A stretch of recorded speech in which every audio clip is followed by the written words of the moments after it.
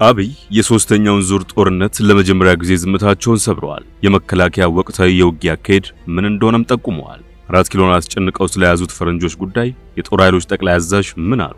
የዕለቱ መረጃ ጥንቅራችን በዝርዝር ይመለከተዋል። እንደተለመደው እየሰማችሁን አብራችሁን ቆዩ። በያላችሁበት ሰናይ ጊዜ ይሁንላችሁ ብለናል።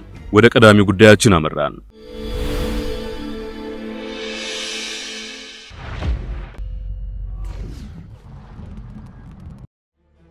አብይ የሶስተኛውን ዙር ጦርነት ለመጀመሪያ ጊዜ ዝምታቸውን ሰብረዋል። ጠቅላይ ሚኒስትር አብይ አህመድ ለመስቀል በዓል የእንኳን አደረሳችሁ መልእክት ባስተላለፉበት ዕለት ነው ዝምታቸው የተሰበረው። አራት ኪሎን አስጨንቀው ስለያዙት ፈረንጆች ጉዳይ በተመለከተ በሰጡት ማብራሪያ ለኢትዮጵያ መንግስት ስለ ሰላም ማስተማር ማለት ለአሳ ዋናን፣ ለወፍ መብረርን ማስተማር ነው። ሰላም ራሷ የኢትዮጵያ መንግስት የከፈለላትን ዋጋ ያህል የከፈለላት የለም በማለትም ጭምር ነው።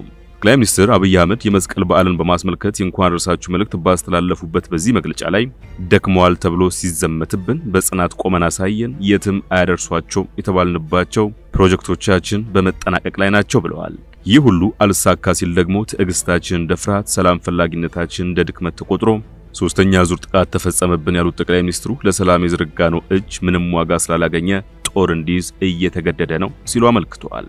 የታገስነው በዚህም ሆነ በዚያ ወገን የሚያልቀው የኛው ህዝብ ነው በሚል ነውም ብለዋል። ከጸብ ይልቅ ፍቅር ይሻላል ስንል ምላሹ እብሪት እየሆነብን ጭምር በንግግር ፋንታ ኃይል የመጠቀም ፍላጎት አላደረብንም ነው ያሉት። ምንም እንኳን ሰላም በአንድ ወገን ፍላጎት ብቻ የሚመጣ ባይሆንም ከጦርነት በላይ ከሰላም እናተርፋለን ብለን እየተዋጋንም ቢሆን ሀገር የሰላም እጆችን ከመዘርጋት እንዳልተቆጠበች ጠቅሰዋል። ጠቅላይ ሚኒስትሩ የበዓል መልእክታቸው ሲቀጥል ስለ ረሃብ እየተነገረብን ምድሪቱ አትረፍርፋ ሰጠችን፣ ስለ በረሃማነት እየተሟረተብን ሀገራችን አረንጓዴ ለበሰች፣ ስለ ኪሳራ እየተለፈለፈ ኢኮኖሚያችን ፈተናዎቹን እየተሻገረ ቀጠለልን፣ ከግራ ቀኝ እየተዋከብን ሶስተኛውን ዙር የህዳሴ ግድብ ሞልተን ተርባይናችንን አስነሳን ባይ ናቸው። እንድንለያይ መዓት እየተወራ የህዝባችን አንድነት እንደ ብረት ጠነከረ፣ እንደ አልማዝ አበራ። ደክመዋል ተብሎ ሲዘመትብን በጽናት ቆመን አሳየን። የትም አያደርሷቸውም የተባልንባቸው ፕሮጀክቶቻችን በመጠናቀቅ ላይ ናቸው ሲሉ አብስረዋል። ነገር ግን ይላሉ አብይ፣ ነገር ግን ይህ ሁሉ አልሳካ ሲል ደግሞ ትዕግስታችን እንደ ፍርሃት፣ ሰላም ፈላጊነታችን እንደ ድክመት ተቆጥሮ ሶስተኛ ዙር ጥቃት ተፈጸመብን በማለት እየተካሄደ ስለሚገኘው ጦርነት ለመጀመሪያ ጊዜ ይፋዊ መግለጫ ሰጥተዋል። አክለውም የታገስነው በዚህም ሆነ በዚያ ወገን የሚያልቀው የኛው ህዝብ ነው ብለን ነው። እነሱ ሲከፉ እኛ የለዘብነው የአንድ ሀገር መንግስትና የአንድ ሀገር አመፀኛ እኩል ለህዝብ አያስቡም ብለን ነው በማለት አብራርተዋል። ከጸብ ይልቅ ፍቅር ይሻላል ስንል ምላሹ እብሪት እየሆነብን ጭምር በንግግር ፋንታ ኃይል የመጠቀም ፍላጎት አላደረብንም ያሉት አብይ ከጦርነት በኋላ ከሰላም እናተርፋለን ብለን እየተዋጋንም ቢሆን የሰላም እጆችን ከመዘርጋት አልተቆጠብንም። ሰላም ግን በአንድ ወገን ፍላጎት ብቻ አይመጣም ብለዋል። በዚህ የተነሳ ሀገራዊ ህልውናችን ለማስጠበቅ ስንል ወደ መከላከል እንድንገባ ተገደናል የሚሉት ዶክተር አብይ ዛሬው ብቻ ሳይሆን የመጪውም ትውልድ አደራ አለብን። ኢትዮጵያን ከመጥፋት ለመታደግ ህዝብን ከብተና ለማዳንና ሀገር እንደ ሀገር ቀጥላ የልጆቻችን ሉዓላዊ ኢትዮጵያ እንዲወርሱ ስንል የመጨረሻውን የመከላከል አማራጭ ወስደናል ብለዋል። አሁንም እያደረግን ያለነው የመከላከል ውጊያ ይህንን ታሪክ ያደራ መወጣትና ብሔራዊ ጥቅሞቻችን ከአደጋ ለመከላከል ያሰበ ነው በማለት የሀገሪቱ ብሔራዊ ጦር ከአንድ ወር በኋላም ቢሆን ለሶስተኛው የህወሓት ወረራ የማጥቃት እርምጃ እንዳልወሰደ ተናግረዋል። ለኢትዮጵያ መንግስት ስለ ሰላም ማስተማር ማለት ለአሳ ዋና፣ ለወፍ መብረርን ማስተማር ነው የሚሉት አብይ ሰላም ራሷ የኢትዮጵያ መንግስት የከፈለላትን ዋጋ ያህል የከፈለላት የለም ሲሉ ይገልጻሉ።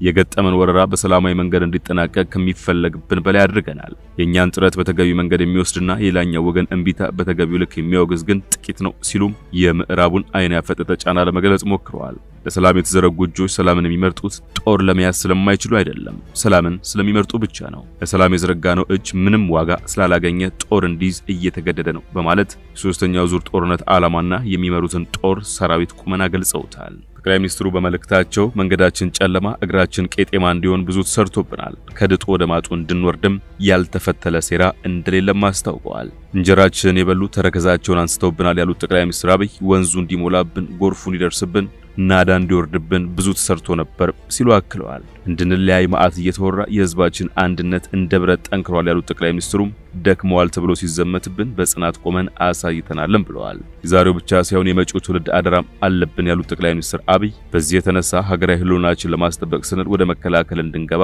ተገደናል ብለዋል። ኢትዮጵያን ከመጥፋት ለመታደግ ህዝብን ከብተና ለማዳንና ሀገር እንደ ሀገር ቀጥላ የልጅ ልጆቻችን ሉዓላዊት ኢትዮጵያን እንዲወርሱ ስንል የመጨረሻውን የመከላከል አማራጭ ወስደናልም ሲሉ ተናግረዋል። አሁንም እያደረግን ያለነው የመከላከያ ውጊያ ይህንን ታሪክ ያደራ ለመወጣትና ብሔራዊ ጥቅሞቻችንን ከአደጋ ለመከላከል ያሰበ ነው ብለዋል። ለኢትዮጵያ መንግስት ለሰላም ማስተማር፣ ለአሳ ዋና፣ ለወፍ መብረርን ማስተማር ነው ያሉት ጠቅላይ ሚኒስትሩ ሰላም ራሷ የኢትዮጵያ መንግስት የከፈለላትን ዋጋ ያህል የከፈለላት የለም ብለዋል። በተመሳሳይ የኦሮሚያ ክልል ርዕሰ መስተዳድር አቶ ሽመልስ አብዲሳ መስቀል በክርስትና ሃይማኖት ተከታዮች ዘንድ ፈጣሪ ለሰው ልጆች ያሳየው ፍቅር የሚታሰብበት የፍቅር እርቅና ይቅርታ በዓል ነው ሲሉ ገልጸውታል። አያይዞም ህዝቡ ለዘመናት ያካበተውን የአብሮ መኖር እሴቶችን አጠናክሮ ሀገርን ለማፍረስ የተነሳውን ጠላት እያሳፈረ እንዳለ ሁሉ በዓሉን ያገኘውን በማካፈል አብሮ በመሆን እርስ በርስ ጋሻ መሆናችንን ማሳየት ይጠበቅብናል ብለዋል። በዓሉ በኦሮሞ ህዝብ ዘንድ በአንድነትና በፍቅር የሚከበር የበረከት በዓል ነው ያሉት ርዕሰ መስተዳድሩ የመስቀል በዓል የበዓላት ንጉሥ ተብሎ እንደሚጠራም አመላክተዋል። ህዝቡ ከሁሉም በላይ የሀገርን ሉዓላዊነት ለማስከበር መስዋዕትነትን እየከፈሉ ያሉ ጀግኖችን በማሰብ እያደረገ ያለውን ድጋፍ አጠናክሮ እንዲቀጥልም ጥሪ አቅርበዋል። የክልሉ መንግስት የክልሉን ባህል ለማሳደግና የህዝቡን ተጠቃሚነት ለማረጋገጥ እየሰራ መሆኑን ገልጸው ባህሉ የሰላምና የፍቅር እንዲሆንም መልካም ምኞታቸውን ገልጸዋል። የመረጃ ቅኝታችን አበቃ። በያላችሁበት ሰናይ ጊዜ